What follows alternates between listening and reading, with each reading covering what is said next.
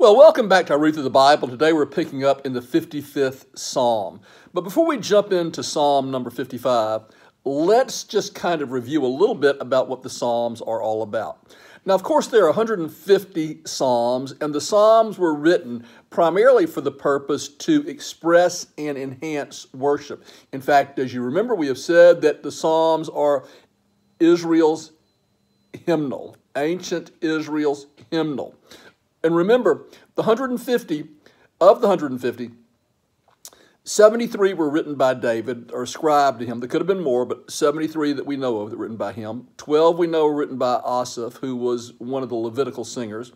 And 10 by the sons of Korah, who kind of come out of that same group. Um, Korah goes back, of course, to the, the rebellion of Korah in the wilderness. Fascinating connection there, but we won't spend much time talking about that. Two are attributed directly to Solomon, one each to Moses, Heman, and Ethan. But there are 50 that are anonymous. We don't know who wrote them, so um, those authors that we just mentioned could have written more than the 73, 12, 10, 2, 111 that, that are ascribed to those authors. Um, but again, they are designed to be utilized in worship and expression of praise to God. And some of them are fascinatingly uh, describing the accompaniment, like this will be used with the five string lyre, the eight string lyre. Some of them are ascribed to particular uh, Levitical song leaders. So, some pretty uh, specific instructions for worship given in the Psalms, in addition, obviously, to the meaning and the preaching that can come from each Psalm. So, let's jump into Psalm 55, having given that little background. Um, Psalm 55 is for the choir director. Again, instructions given on string instruments, a maskil. Uh, we don't know exactly what a maskil means. It perhaps meant instruction, meditation, kind of like Selah, meditate on this, uh, a teaching or a meditation. But this particular psalm is a prayer for the defeat of David's treacherous enemy, enemies. The first five verses hear my prayer, uh, my wicked enemy. Uh, is against me, horror has overwhelmed me. You know, David expresses deep meaning. And some people will even say that David, you know, kind of has some depressive tendencies as you read through some of his writings. You know, again here, uh, my enemy is overwhelming me. Uh, verse 6 of Psalm 55 is a very famous verse. This verse has been used in many funerals over the years. Very famous verse. Oh, that I had wings like a dove, that I would fly away and be at rest. So David is thing here, if I could just get away from my enemies, things would be okay. Have you ever had the thought that if I could escape the particular problem that I'm facing now in life, things would be better? Well, you're not alone. Uh, verses 12 through 14. He seems to be describing an enemy who has betrayed him. He refers to him as my equal, my familiar friend, the one that I had fellowship with in the past. Um, he may be referencing actually his son Absalom that rebelled against him or Absalom's counselor and the one that became a traitor, the counselor that became a traitor to David, Ahithophel. But all that goes back to um, uh, kind of Ahithophel does to David's sin with Bathsheba. Remember, our sins will find us out. Um, and then in verse 19, David describes enemies with the one in whom there is no change and no, no repentance. They don't change. So, so David recognizes that uh, they don't change, they don't repent, they do not fear God. But he closes in the 23rd verse of Psalm 55 I will trust in you. And then we jump into Psalm 56. Um, again, like so many of David's Psalms, uh, designed to be utilized in music, but also expressing kind of probably the time when David is running from Saul. Remember the time that he went to Gath to uh, Achish, the Philistine king down there, so he's afraid of both of Saul and the Philistines. You know, David is in a, in a jam, a bad situation here. Um, so he goes on to, to begin to write here, uh, you know, God only is faithful in, in verse 2. My foes have trampled me all day long. You can imagine how David might have felt, felt both his nation the national king, Saul, is against him, and now he's kind of gone down to the Philistines and he has to hide things from them. So you can imagine how he might feel here. Uh, verse 3 When I am afraid, I will put my trust in you. There's always this refrain in David I'm being overwhelmed, but yet I will trust in you, and ultimately you will deliver me. Um, verse 8, David says that, that I'm in distress. Um, uh, put my tears in a bottle. Um, again, you kind of see this kind of depressive nature. But David is, you know, I want my, my tears kind of recorded. I can put them in a bottle. Um, verse 13 You've delivered me from death. I will walk before you in the land of the living. A reference to eternal life in, in, in David's writings in these Psalms. Fascinating. Well, this brings us to Psalm 57. Uh, again, this is written when David is running from Saul. I mean, it's kind of a common refrain. You know, poor old David, he had a, had a really rough life. He, he is the greatest king of, of Israel outside of the King of Kings and Lord of Lords, Jesus Christ, obviously. But Psalm 57 is written while David is fleeing from Saul, hiding in a, in a cave, um, either the cave of Adullam, um, described in 1 Samuel 22, or perhaps the cave of Engedi, described in 1 Samuel 24. So, uh, and you kind of get this uh, as you read this in, in verse 1. In the shadow of the wings, I will take refuge. Uh, that may be a reference to cherubim. Remember the cherubim, how they had the outstretched wings over the mercy seat was the meeting place of God.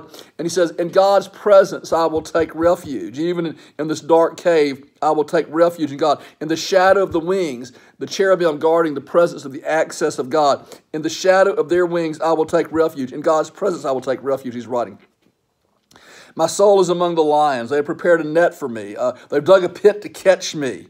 But yet, in all of this, he praises God for God's ultimate deliverance. And then Psalm 58, um, again, used in the worship of God. The first five verses, uh, David charges the wicked judges and rulers. Uh, they work on righteousness, verse 2. They're like lions, verse 3. Uh, they spew venom constantly, verse 4. And then in verse it says 6 for 11 through 11, he changes to this imprecatory um, prayer. Remember, uh, an imprecatory prayer would be a prayer for the destruction and judgment of my enemies. Um, judge them, destroy them. Uh, verse 6, shatter their teeth. Um, verse 8, this is very poetic and very visual. Let them melt like a snail in the sun. Have you ever seen a you know a snail or a slug in the hot sun? David says, "Let them melt like this. Uh, sweep them away." And in verse ten, the righteous will rejoice when he sees your vengeance. You know, very imprecatory. He's praying for the destruction of his enemies, but it kind of also reminds us that vengeance must be God's. We must not take vengeance in our own hands. And David is, is praying this. You know, he had a couple of times that he could have actually um, uh, killed Saul and he didn't. Um, so he understood this, but he is praying for God's vengeance. So that's the way we should approach this. whole question about how much we should actually pray imprecatory prayers, but you know, here you have an example. Uh, Psalm 59.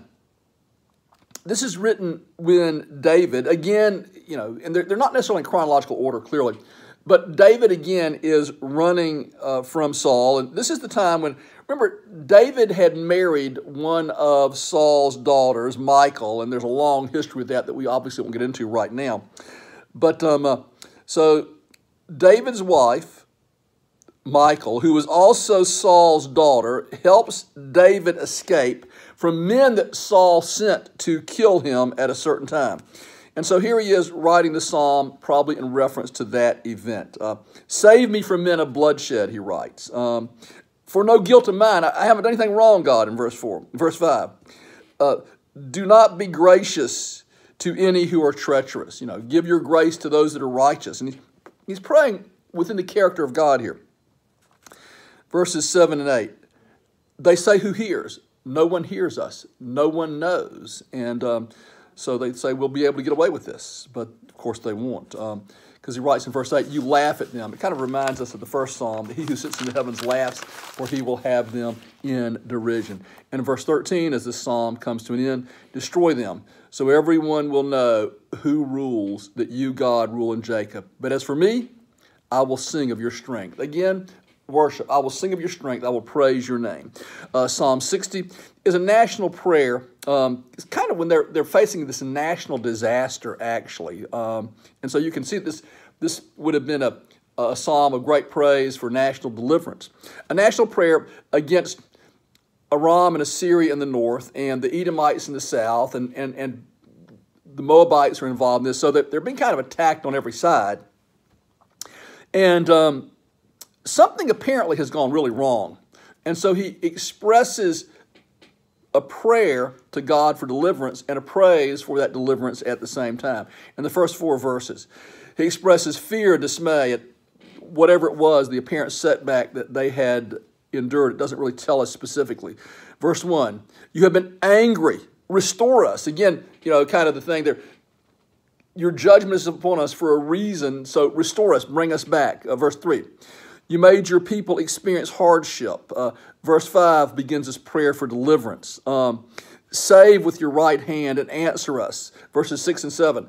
God will save Israel. So, you know, he's seeing this setback, seeing that Israel has fallen a difficult place, but at the same time, this prayer for deliverance. Um, and in verse 8, the enemies, Moab, Edom, Philistia, three enemies that surround Israel to each side you know, God says, deliver us, defeat them. It doesn't mention the Arameans here, but the Arameans are involved in this. This is his general prayer. These ancient historical enemies of Israel, Moab, Edom, Philistia, on the, the right side, on the left side, you know, kind of encompassing around them, deliver us from them. We're surrounded by enemies.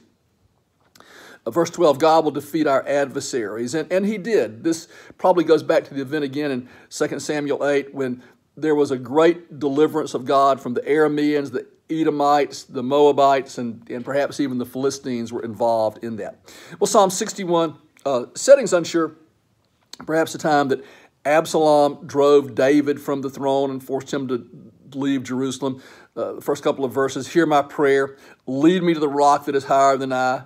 Uh, God's strength is above my strength you will prolong the king's life in verse 6. You're going to take care of your anointed. There's kind of uh, some messianic references here, too, not only to the, to the temporal king David, but to the eternal king, Jesus Christ, the King of kings and Lord of lords. Uh, verse 7 He will abide before God forever. Now, that, that's definitely messianic covenant, that there will, will never fail to be a man to sit on the throne of Israel, the, the Davidic covenant. Uh, the Messiah will reign forever and ever.